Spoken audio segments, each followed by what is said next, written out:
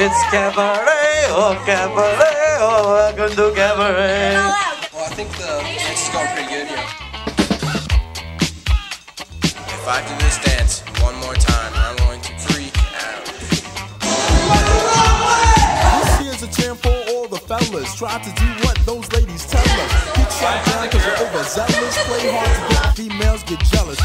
Smarty, go to a party. Girls are scantily clad and showing body. A chick walks by, you wish you could sex her, but you're standing on the wall like you was Poindexter. Next day's function, high class luncheon. Food is served and you're stone cold munching. Music comes on, people start to dance, but then you ate so much you nearly split your pants. A girl starts walking, guys start gawking, sits down next to you and starts talking. Says she wanna dance cause she likes the groove, so come on, fat so and just bust the move.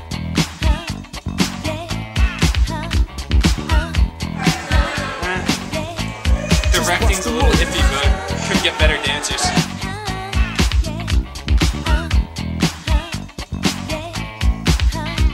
You're on a mission and you're wishing someone could cure your lonely condition. Looking for love in all the wrong places. No fine girls, just ugly faces. From frustration, first inclination is to become a monk and leave the situation. But every dark tunnel has a light of hope, so don't hang yourself.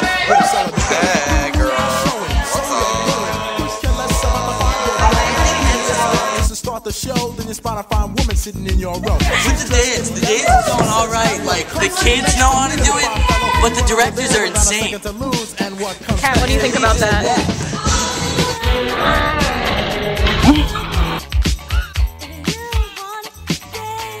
Just bust the move.